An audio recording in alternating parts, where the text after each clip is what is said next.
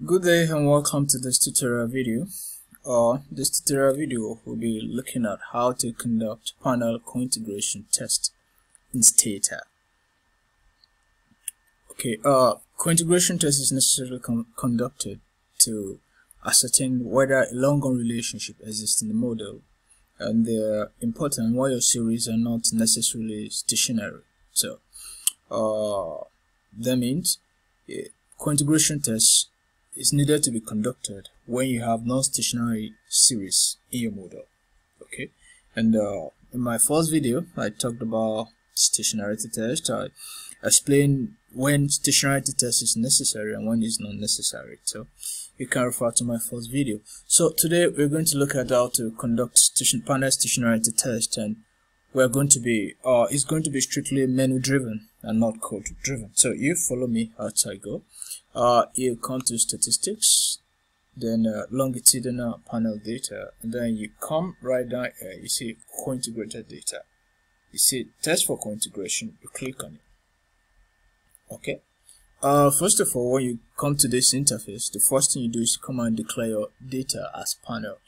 So click on panel setting and identify your panel ID variable cross ID that is what I use in my data structure. And click on time variable and uh, that will be your year. Okay. And you can click on ok so by this you have declared your data as panel data.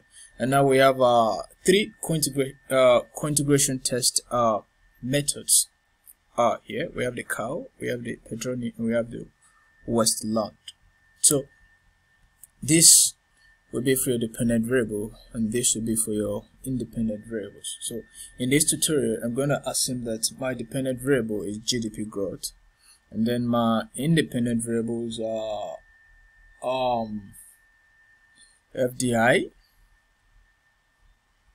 i'm gonna click here. Fdi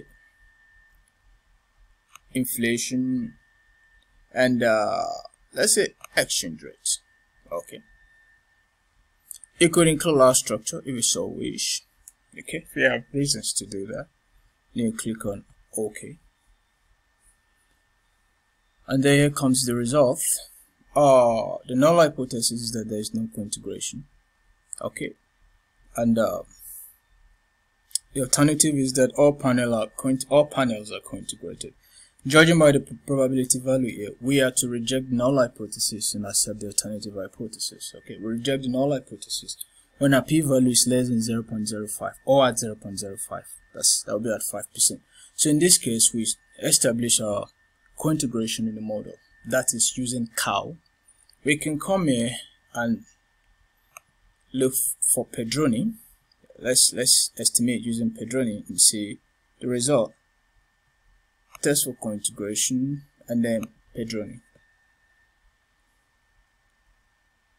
Okay.